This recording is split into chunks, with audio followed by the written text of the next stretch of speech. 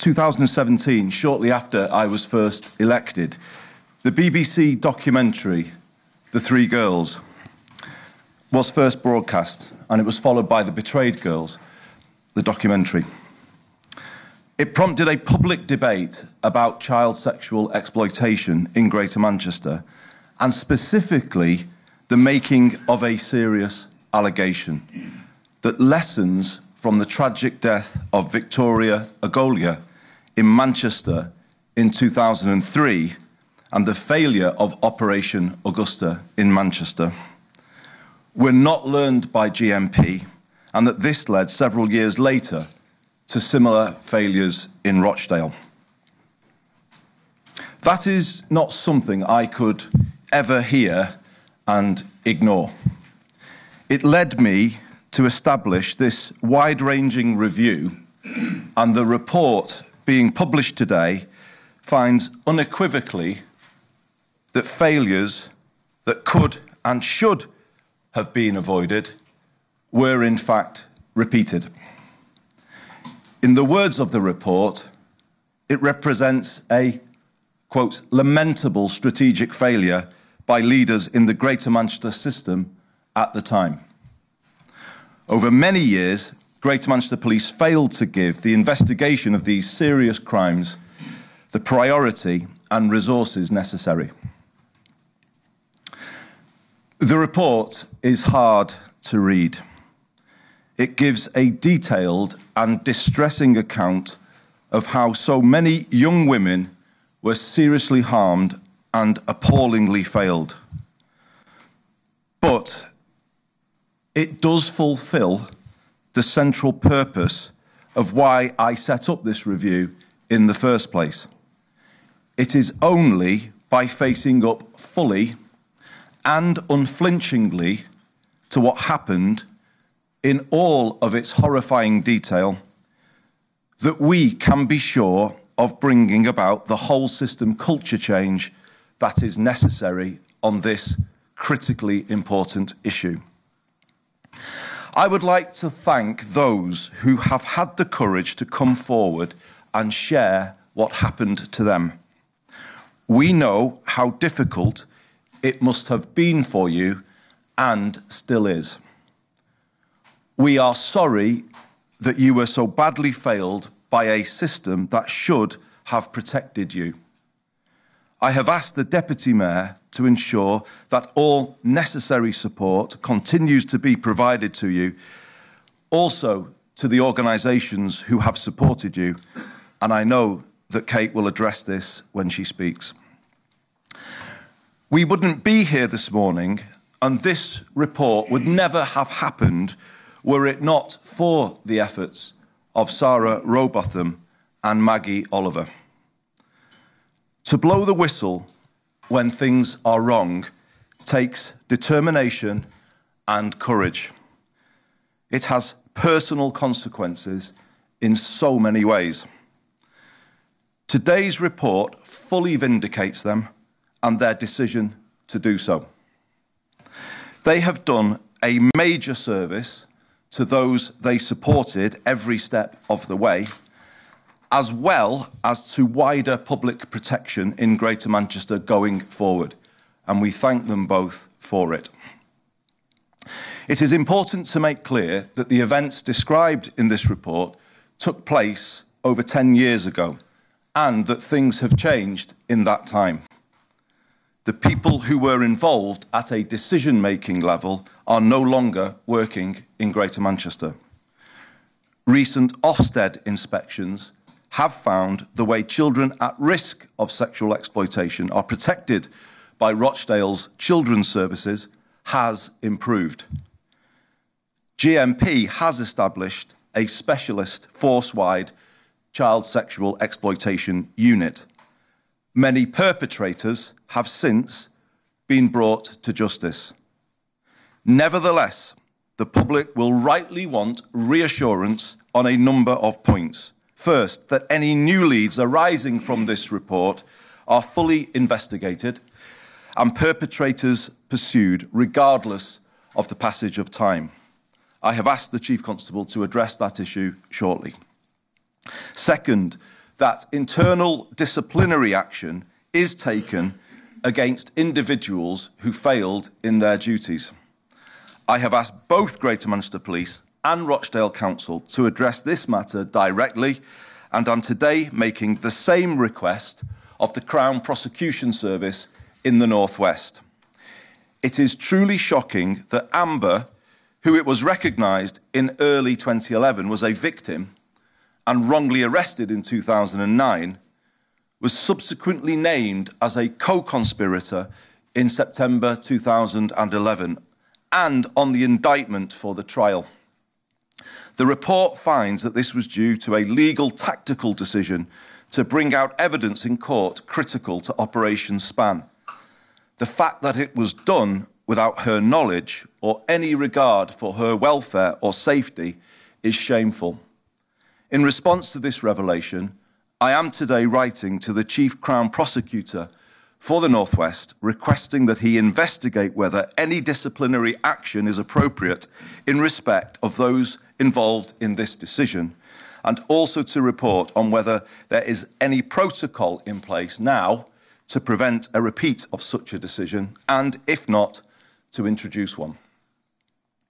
The report also contains a very troubling revelation with relation to Child 44 and the retention of a fetus following a termination.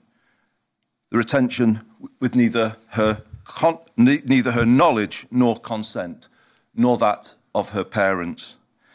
I have asked the Chief Constable to review that specific issue, as well as GMP's current practice and training arrangements in respect of the Human Tissue Act. The report covers many other serious issues, and to take us through the detailed findings, I would now like to invite Malcolm uh, to come forward to present. As he does, I wish to take this opportunity to thank him, to thank Gary, and the previous Deputy Mayor, Baroness Beverley Hughes, for sticking the course on this difficult task, for doing such a painstaking and forensic job and in so doing, enhancing the protection of young people in Greater Manchester. Malcolm.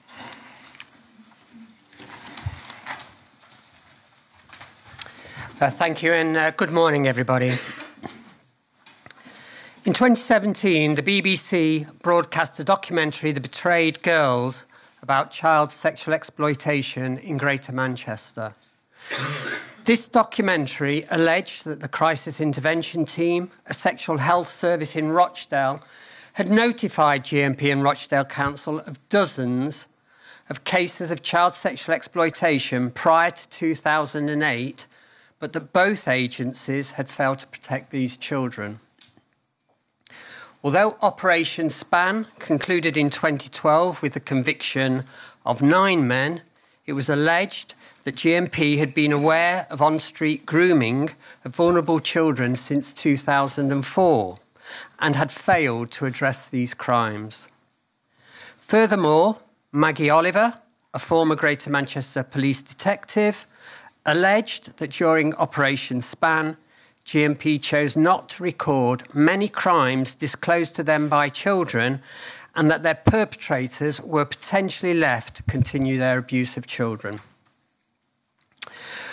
Over the last six years, several senior officers within GMP and Rochdale Council have said there was little merit in a further review of these well documented events.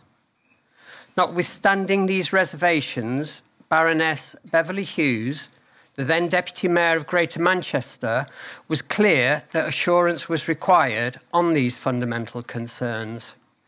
We would like to acknowledge the support Baroness Hughes has given the review team to secure the completion of this report. This report has taken over six years to complete, primarily because of the time taken to negotiate the legal complexities in accessing sensitive and personal information held by the statutory agencies. We have researched a vast quantity of contemporaneous records and the detailed case files of 59 children. We invited for interview those individuals we believed could assist our review. Many helped our work, for which we give thanks. Others, regrettably, declined to be interviewed or failed to respond to our invite. We also interviewed three survivors. They were all subjected to the most profound abuse, and all three had engaged with Operation Span. We applaud their courage in coming forward and are grateful for the support provided to them by Maggie Oliver and her foundation. Their harrowing stories evidence the severe damage to their welfare perpetrated initially by their abusers and subsequently by the criminal justice processes they were exposed to. I will now summarise our main conclusions.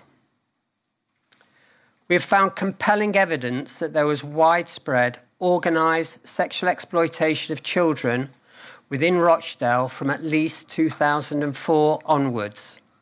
Sarah Rowbotham and her colleagues at the Crisis Intervention Team repeatedly shared their significant concerns during this period with police and children's social care, but the statutory agencies failed to respond appropriately.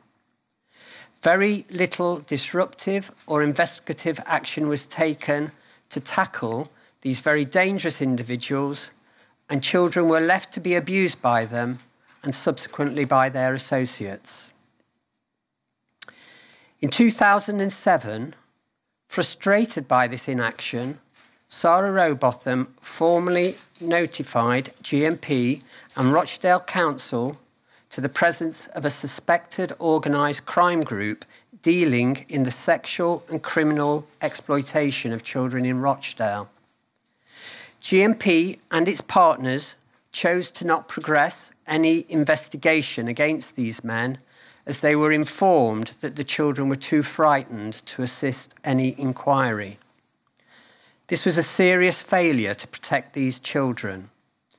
It was not for many years and well after we had commenced our review that any charges were brought against any of these men for the abuse they committed during this period. While a small scale investigation commenced in 2007, this investigation resulted in no charges or convictions. GMP under resourced the inquiry despite repeated requests for support by the officers concerned. Our review has revealed that this pattern was repeated time and again. Over many years, GMP and Rochdale Council were made aware of significant networks of men engaged in the widespread exploitation of children but failed to prioritise their protection. In 2008, a 15 year old child disclosed that she had been repeatedly raped and sexually assaulted by staff at a takeaway restaurant in Rochdale. This was a complex inquiry, but senior officers within GMP failed to provide additional resources. Consequently, the investigation only scraped the surface of what had occurred. It is our view that had this investigation been sufficiently resourced, it may have strengthened the evidence to proceed with the prosecution. In 2010, a detective inspector in the Rochdale Division provided compelling information that there remained in Rochdale an extensive network of individuals exploiting vulnerable children.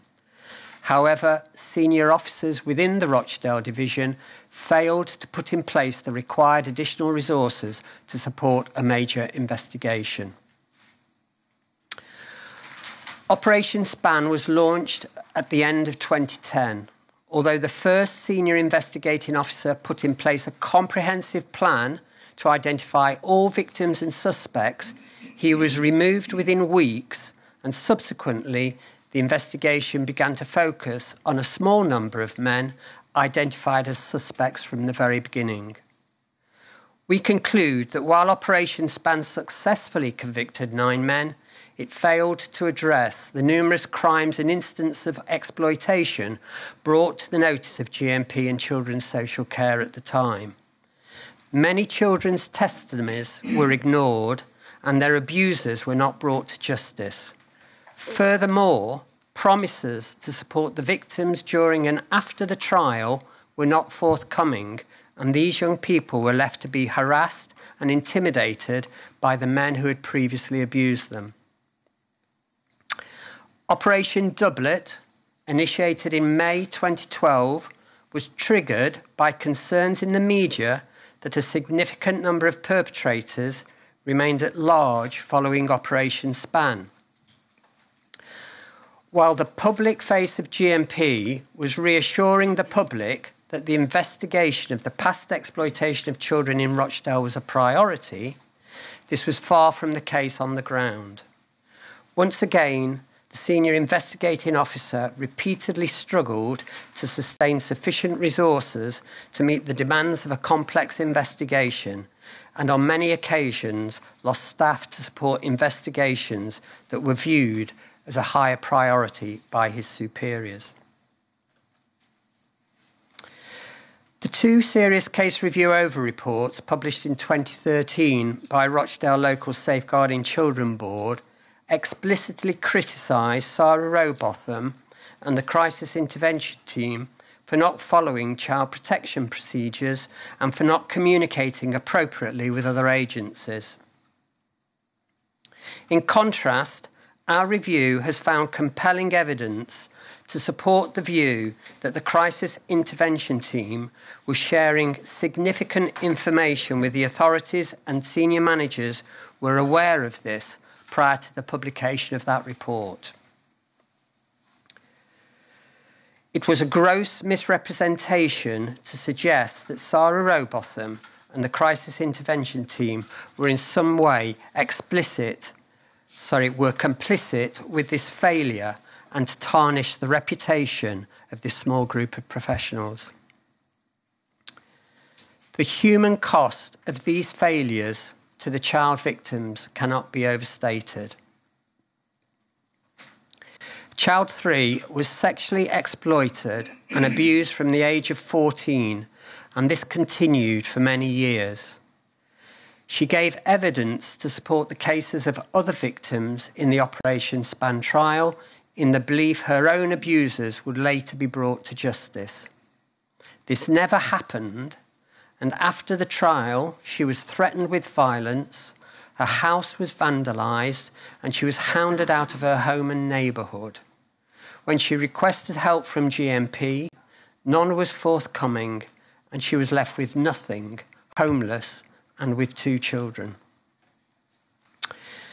Child 44 was made pregnant at the age of 13 by her abuser, who was in his late 30s.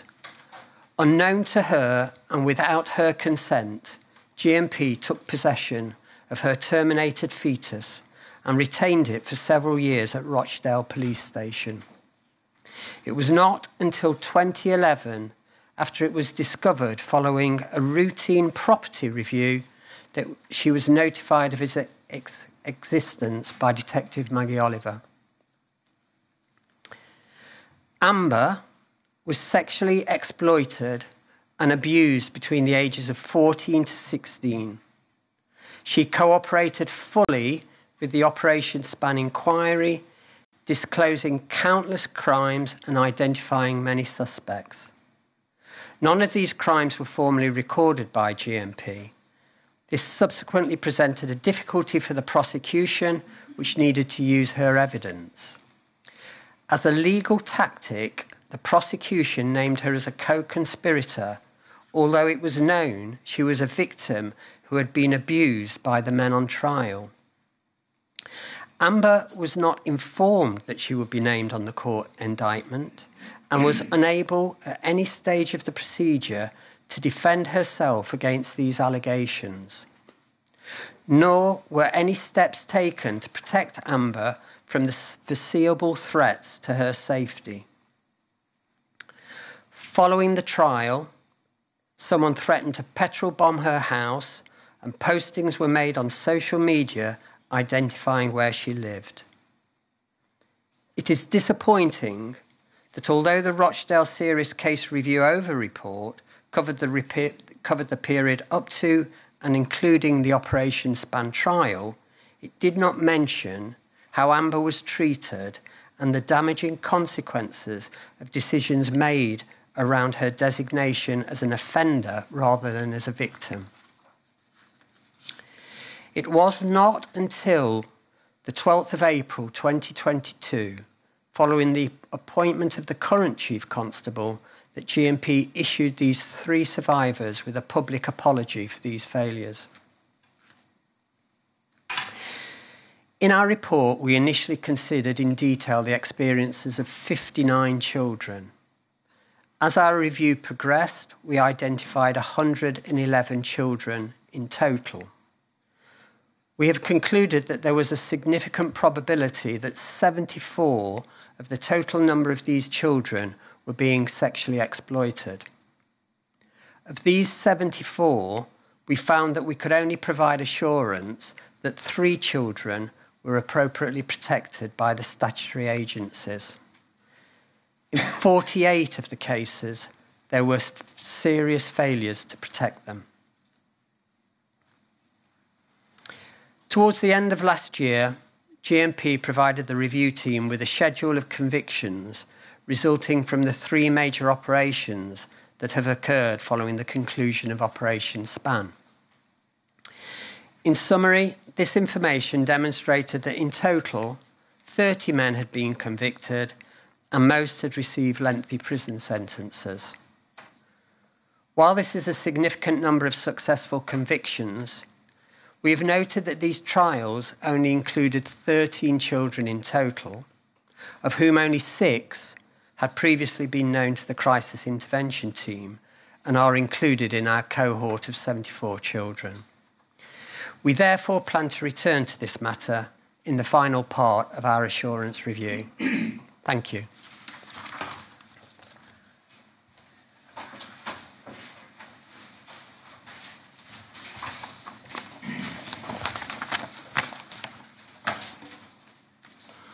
Good morning. I am Stephen Watson, the Chief Constable for Greater Manchester.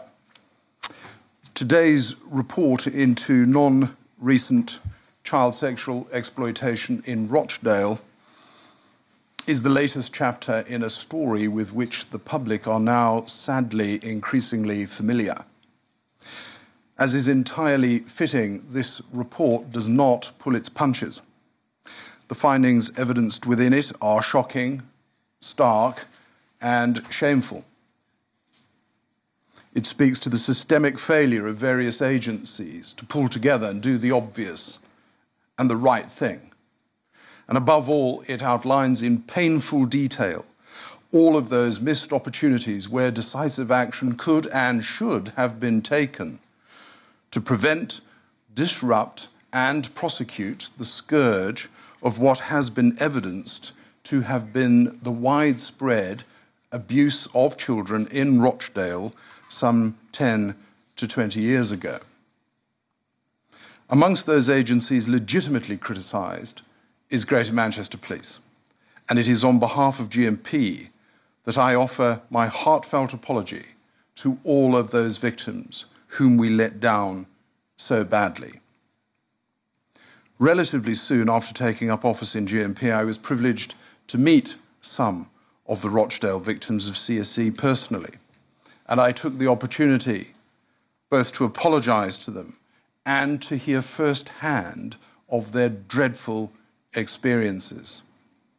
Today, therefore, must principally be about the victims and survivors of the weighty trauma that they suffered at the hands of heartless criminals who, frankly, cared not a jot for the impact of their offending behavior on the still forming lives of these then young girls.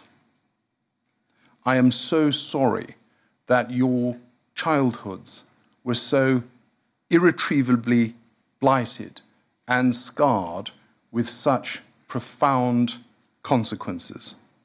One of the primary responsibilities of the police is to protect the vulnerable from the cruel and the predatory. And in this regard, we failed you. In respect of GMP's failures specifically, the report highlights clear evidence to suggest that CSE in Rochdale was both widespread and known about amongst those with the responsibility to act. Exploited children were poorly safeguarded and on occasion not safeguarded at all. Organizational responses were generally too slow in emerging. They were under resourced and they were prematurely curtailed despite it being clear that there was more to do. Offenders were neither effectively disrupted nor properly brought to justice. Senior GMP officers failed to address what was clearly a strategic issue with a fitting and sustainable strategic solution. And GMP failed to heed the voices of those who were speaking up on behalf of victims and who were pointing to the inadequacy of the organizational response. And it is at this juncture that I too would like to pay tribute to Sarah Rowbotham and Maggie Oliver. This report speaks very clearly to the credibility of the concerns that they had expressed and acknowledges their personal and persistent advocacy on behalf of so many vulnerable girls.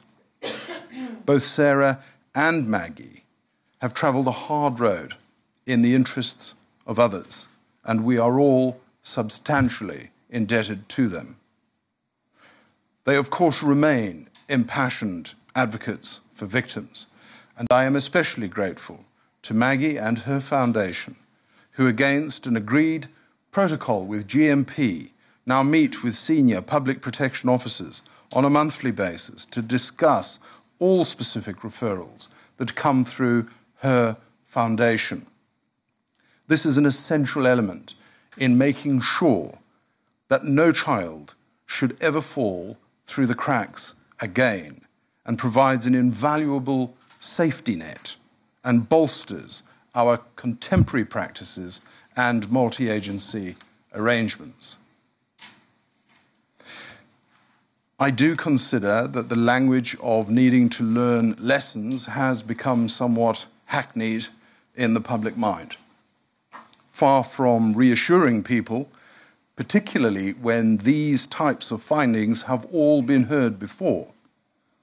It causes decent people to feel enormously frustrated at the failure of agencies, including the police, to simply do what we are paid for and to do it professionally.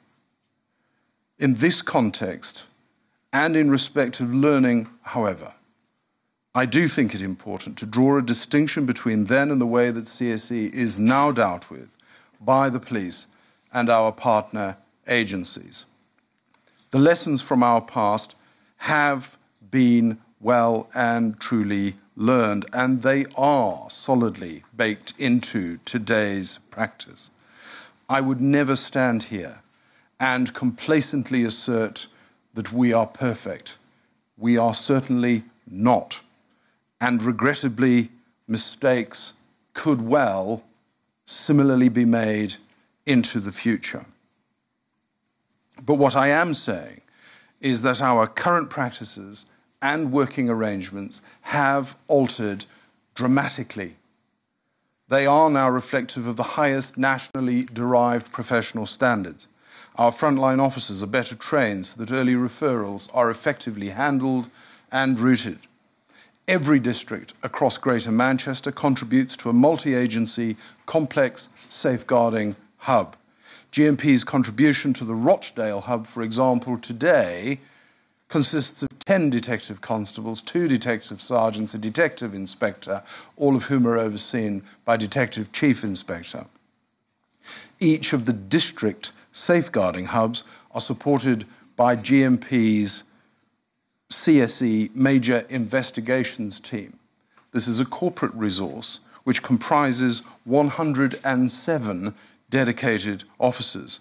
The expansion of this team owes much to the direct support of the Mayor and the Deputy Mayor, for which I am grateful.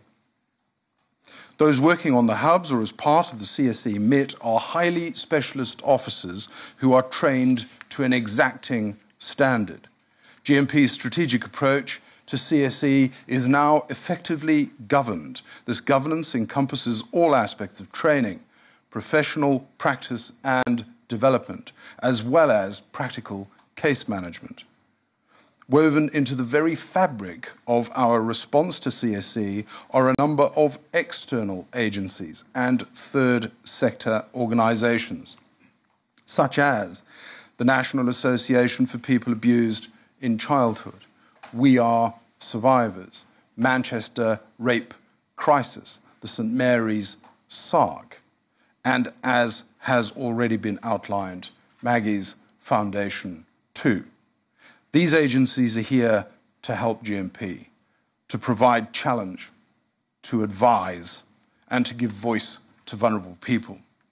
Our practice is informed by Operation Hydrant on behalf of the College of Policing, which produces authorized professional practice for our senior investigating officers. And we are inspected directly by His Majesty's Inspectorate of Constabulary and indirectly by Ofsted, who assess our partnership arrangements. In short, I am confident that GMP and our partners now have the capacity and the capability to meet the highest of standards sustainably and to dynamically adopt different approaches where necessary to reflect further organizational learning, amendments to national best practice, and to pivot very quickly to recover live situations when we get things wrong. It remains, of course, a source of profound regret that we cannot turn back the clock and undo all of the damage done to innocent young lives. I do, however, want to reassure both victims and the public that we remain determined to do all that we can to bring offenders to justice. Since Operation Span and the nine men then convicted, in Rochdale alone, a further 135 arrests have been made, 432 charges have been laid, and 32 convictions obtained, which have resulted in 355 years imprisonment for offenders who might have thought that they had escaped justice. Last year, Op Lytton resulted in the conviction of a further five offenders for a further 22 offences, and these men were sentenced to 71 and a half years imprisonment. As of today, we have another 34 individuals who are currently charged and are due to stand trial during this year and next. In addition to Op Lytton, which continues, there are currently a further seven live CSE investigations taking place in Rochdale. With reference to the 74 children which Malcolm has referred to, GMP has directly engaged with 72 of them. There are sound risk assessed reasons for not engaging with two of the 74. But nonetheless, our victim led responses to date reflect what they are asking for. For perfectly understandable reasons, including a reluctance to reopen old trauma.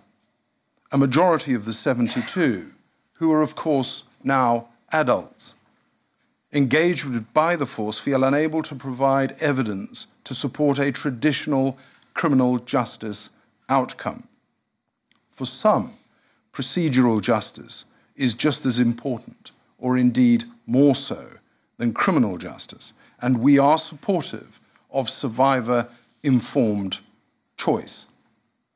26 of the 72 have, however, reported specific offences and have or are supporting prosecutions. We will continue to engage with all of these survivors and to shape our responses to their requests and preferences. From a policing perspective, and wherever possible, we are, of course, keen to mount criminal prosecutions such that offenders can be properly brought to justice and held to account. The door will remain ever open to survivors of CSE, and we will work at a pace that reflects their needs. We would encourage all victims of CSE always to come forward and access the care and the support that we are keen to offer. The GMP that I lead will pursue all reasonable lines of inquiry relentlessly and without fear or favour. I know that some who might have thought that they had got away with these dreadful crimes are now living in fear that a reckoning is coming. My message to these people is that you are right to be fearful, and you may be the next person that we arrest. No matter the passage of time, we will continue to develop the evidence to put you away.